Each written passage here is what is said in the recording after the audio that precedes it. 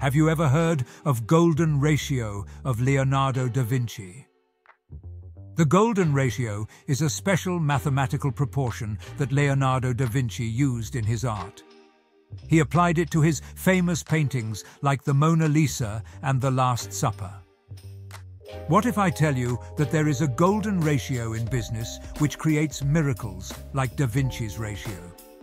Today we will talk about Pareto ratio for business. This principle, discovered by Italian economist Vilfredo Pareto, it is the secret source to boosting productivity and effectiveness. What really drives success in your business? Think of it this way.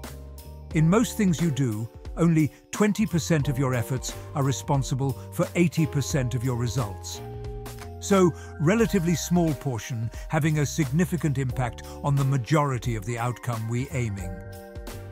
Did you know that typically 80% of a company's profits come from just 20% of its customers?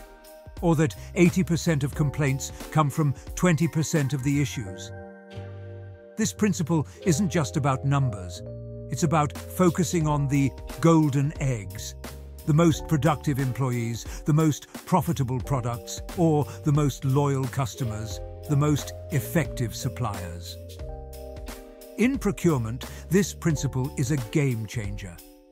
Imagine being able to pinpoint the 20% of suppliers who provide 80% of your essential raw materials or services.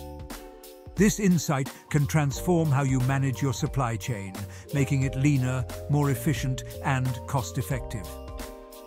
Also remember, as Peter Drucker wisely said, efficiency is doing things right. Effectiveness is doing the right things. It teaches us a valuable lesson. Sometimes the key to success isn't doing more, but rather understanding where to direct your focus. As we sign off, consider this. In your professional journey, how can you apply the 80-20 rule to cut through the clutter and elevate your effectiveness?